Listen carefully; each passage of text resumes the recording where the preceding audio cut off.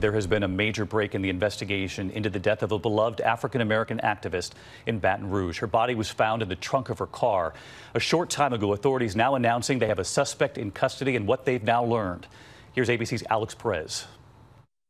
Tonight, police announcing an arrest in the murder of beloved Baton Rouge civil rights leader Sadie Roberts Joseph. We received so many phone calls from the community when they learned it was Miss Sadie.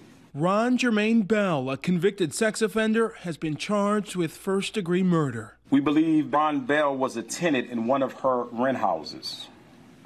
We believe that he was behind several months on his rent. The 75 year old's body was found Friday, stuffed in the trunk of her car. In addition to creating the city's Black History Museum, Roberts Joseph spent decades working to educate people. Tonight, a shattered community and her daughter vowing to protect her legacy. For those who were and are angry, live a better life.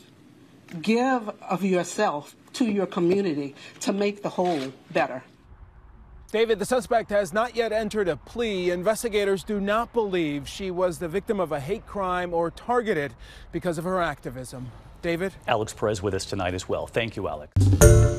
Hi, everyone. George Stephanopoulos here. Thanks for checking out the ABC News YouTube channel. If you'd like to get more videos, show highlights, and watch live event coverage, click on the right over here to subscribe to our channel. And don't forget to download the ABC News app for breaking news alerts. Thanks for watching.